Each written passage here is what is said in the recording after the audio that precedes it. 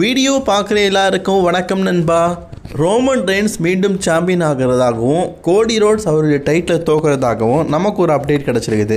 சரி இதை பற்றி டைம் வேஸ்ட் பண்ணாமல் பேசலாம். அதுக்கு முன்னாடி சேனலுக்கு ஃபஸ்ட் டைம் வந்துருக்கவங்க சப்ஸ்கிரைப் பண்ணி பெல் ஐக்கானை கிளிக் பண்ணி வச்சுக்கோங்க. தினமும் போடுற ரஸ்லிங் செய்யலை தமிழை செஞ்சுக்கலாம் இந்த ஆர்டிக்கலில் என்ன போட்டிருக்குன்னு கேட்டிங்கன்னா கோடி ரோட்ஸ் வந்து இப்போதைக்கு அன்டிஸ்பியூட்டி டபிள்யூபிள்யூ சாம்பியனாக இருக்கிறாரு. நம்ம கொஞ்சம் ஃப்ளாஷ்பேக்கில் நோக்கி போனால் ரசல்மனியாக்கு அடுத்த ராலையை பார்த்தீங்கன்னா ராக்கும் கோடி ரோட்ஸும் ஃபேஸ் டு ஃபேஸ் பார்த்தீங்கன்னா மீட் பண்ணியிருப்பாங்க அதில் ராக்கு வந்து கோடி ரோட்ஸை பார்த்து உன்னோட அன்டிஸ்பியூட்டட் டைட்டிலேருந்து ரொம்ப நல்லா இருக்குது எனக்கு அது வேணும் அப்படிங்கிற மாதிரி கேட்டிருப்பாரு. உடனே கோடி ரோட்ஸ் பார்த்தீங்கன்னா அதுக்கு பதிலடி என்ன சொல்லியிருப்பாருன்னா உன்னுடைய பீப்புள் சாம்பியன்ஷிப்பும் நல்லா இருக்குது.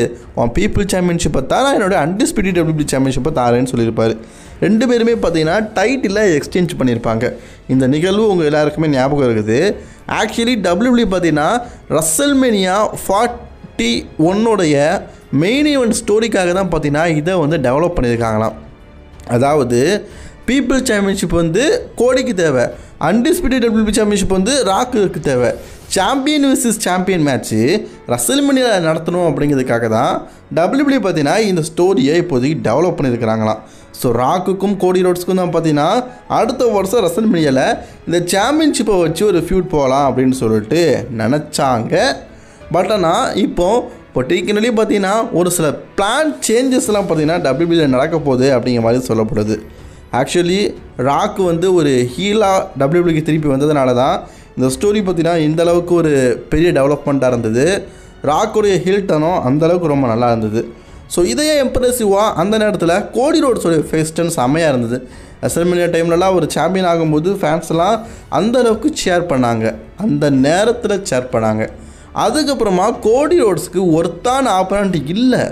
இப்போ குந்தர் சாம்பியன் ஆனோன்னு ராண்டி ஏட்டன்னு சொல்லிட்டு ஒரு இமயமலை இறக்குனாங்க. ஒருவேளை ராண்டி ஏட்டன் சாம்பியன் ஆவாரோ அப்படிங்கிற எதிர்பார்ப்பு இருக்குது. அப்போ கோடி ரோட்ஸுக்கு எந்த மாதிரி இறக்கணும்? பாருங்கள் ஏஜே ஸ்டைல் அவள் ஹைப்பே இல்லாமல் ஏஜே ஸ்டைலு சோலோ சிக்காவை வின் பண்ண மாட்டான்னு தெரியும் சோலோ சிக்காவா அடுத்தது யார்? நம்ம லோகநாதன். அடுத்தது நம்ம கெவின் ஓவன்ஸு இந்த மாதிரி இப்போ ஈஸியாக சொல்லிடலாம். இது இவருக்கு ஒருத்தான ஆப்பனண்ட் இல்லைப்பா.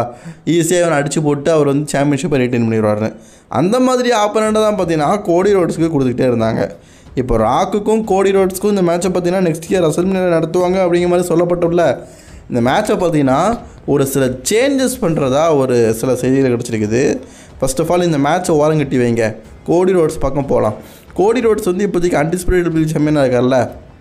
அவருடைய டைட்டில் ரேஜின் கண்டிப்பாக ரசல்மனியா வரைக்கும் ரசல்மனியா ஃபார்ட்டி ஒன்னை தாண்டியும் இருக்கலாம் அப்படிங்கிற மாதிரி சொல்லப்பட்டது.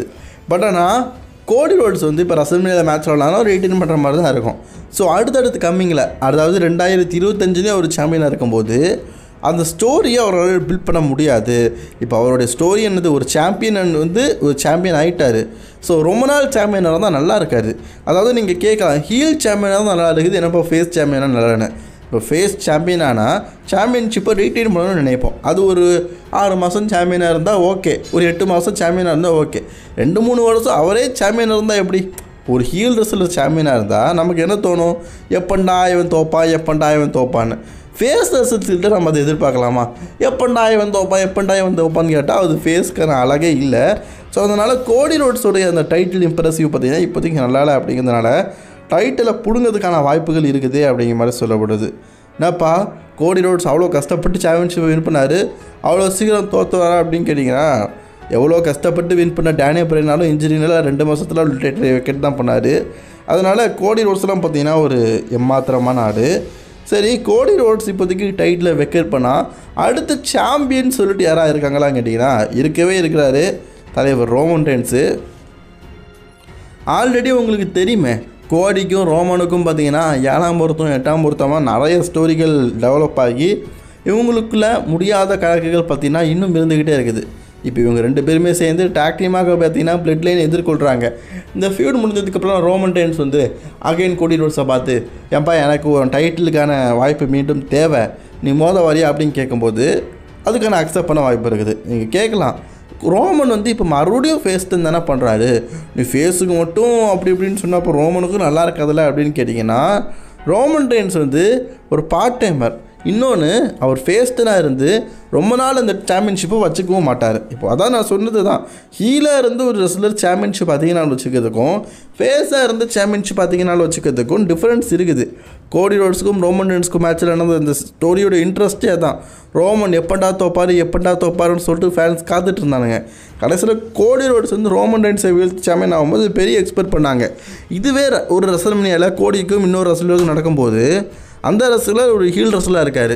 கோடி ரெஸ்லர்ட்டு அந்த டைட்டில் பார்த்தீங்கன்னா அந்த ஹீல் ரெஸ்லர் வாங்கும்போது கோடி ரோட்ஸுக்கு கிடைக்கிற அதே மரியாதை பார்த்தீங்கன்னா அவருக்கு கிடச்சுன்னா அவர் ஹீலாக ஃபேஸாக இல்லாட்ட கோடி ரோட்ஸ் ஹீலாக ஃபேஸாக ஜான்சனுக்கு எந்த மாதிரி ஒரு நிலமை ஏற்பட்டுச்சோ அந்த மாதிரி நிலமை அவருக்கு ஏற்பட்டுரும்.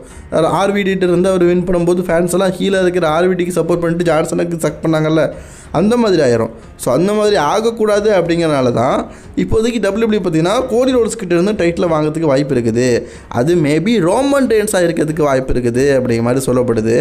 ரோமன் டெயின்ஸ் சாம்பியன் ஆனார்னா கண்டிப்பாக நல்லா இருக்கும். இப்போ அவர் வந்து ட்ரைபிள் சீஃப் ஸ்டோரி லைனில் பார்த்தீங்கன்னா அந்த சாம்பியன்ஷிப் இல்லாமல் இருக்கிறது ஒரு குறை தான் ஏன்னா அந்த ஒரு மாலையை வச்சே ஸ்டோரி லைன் கொண்டு போகிறதுனால சாம்பியன்ஷிப்போடைய மதிப்பெல்லாம் பார்த்தீங்கன்னா ரொம்ப டவுன் ஆகிட்டு இருக்குது ஸோ ரோமன் டென்ஸ் அந்த சாம்பியன்ஷிப்பை வச்சு ஒரு டைட்டில் ஃபியூடாக பார்த்தீங்கன்னா ஃபேமிலிக்குள்ளே அந்த சோலசிகாவா மற்றும் அவங்களுக்குள்ளே இருக்கிற ஜாக்கஃபாட்டோ இவங்களுக்குள்ளே ஒரு மேட்ச் கொண்டு போனாங்கன்னா உண்மையிலேயே அது நல்லா இருக்கும். ஸோ அதனால் இப்படி சொல்கிறேன் சரிப்பா. அப்போது கோடி ரோட்ஸுடைய நிலமை என்ன ஆகும்னு கேட்டிங்கன்னா கோடி ரோட்ஸுக்கும் ஃப்யூச்சர் பிளான் இருக்குது. அதாவது கோடி ரோட்ஸுக்கு நான் சொன்ன மாதிரி இவங்களுக்குள்ளே பார்த்தீங்கன்னா ரசல்மனியில் ராக்குக்கும் கோடிக்கும் ஒரு மேட்ச் இருக்க தான் செய்யுது. இந்த மேட்ச்சை அன்டிஸ்பிரிட்டட் சிம் சாம்பியன்ஷிப்பை தான் நடத்தணும் அப்படிங்கிறது ஒரு ரூல்ஸ் கிடையாதுல்ல. இப்போ அன்டிஸ்பிரிட் டைட்டில் வந்து இருக்குது. ஆனால் அது கோடி ரோட்ஸ்கிட்ட இல்லாட்டா கோடி ரோட்ஸ் ராக்கிட்ட இருக்கிற பீப்புள் சாம்பியன்ஷிப்பாக முதலாம்ல. Only people champion champion versus champion மேட்ச்சுக்கு பதிலாக பீப்புள் சாம்பியன்ஷிப் மேட்சாக நடக்கலாம்ல. வெற்றி பெறுவாங்க த நியூ பீப்புள் சாம்பியன் சாம்பியன்ஷிப்பையும் டபிள்யூபிள்யூக்கு திருப்பி இழுத்து கொண்டு வந்த மாதிரி இருக்கும். அந்த சாம்பியன்ஷிப்புக்கான பேரையும் பார்த்திங்கன்னா பெருசாக கொண்டு போன மாதிரி இருக்கும். ஸோ இந்த பீப்புள் சாம்பியன்ஷிப்பை பார்க்கும்போதே தெரியும். அந்த கால சிம்பிள்லாம் போட்டு உண்மையிலேயே பார்த்தீங்கன்னா பயங்கரமாக இருக்குது ஸோ அந்த சாம்பியன்ஷிப்பை பார்த்தீங்கன்னா கோடி ரோட்ஸ்லாம் ஆசைப்படுறதெல்லாம் ஒரு நல்ல விஷயந்தான் ஸோ அந்த அதாவது அன்டிஸ்பியூட் டபிள்யூபிள் சாம்பியன்ஷிப்புக்கு பதிலாக பீப்புள் சாம்பியன்ஷிப்புக்காக கோடி ரோட்ஸ் பார்த்தீங்கன்னா ரசல்மினால ராக்கு கைன்ஸ்டாக மோதுவார் அப்படிங்கிற மாதிரி சொல்லப்படுது. So Roman Reigns new champion ஆவார். Cody roads title தோப்பார். மற்றும் நியூ அன்டிஸ்பியூட்டட் டபிள்யூபி சாம்பியன்ஷிப்பை பார்த்தீங்கன்னா கோடி ரோட்ஸ் தோத்துட்டு அதுக்கு அதுக்கு பதிலாக பார்த்தீங்கன்னா பீப்புள் சாம்பியன் ஆவார் இப்படின்னு சொல்லிட்டு பலவிதமான ரோமர்ஸ் வந்துக்கிட்டு இருக்குது. ஸோ இது எது நடக்குது அப்படிங்கிறத வெயிட் பண்ணி பார்ப்போம். Roman Reigns again undisputed champion ஆனால் நீங்கள் ஏற்றுக்குவீங்களா மாட்டீங்களா அப்படிங்கிறத மறக்காமல் கவுண்ட் பாஸில் கவுண்ட் பண்ணுங்கள் எத்தனை பேர் தான் Roman Reigns again undisputed WWE champion ஆகிறதுக்கு வெயிட் பண்ணுறீங்க அப்படிங்கிறத வெயிட் பண்ணி பார்க்கலாம்.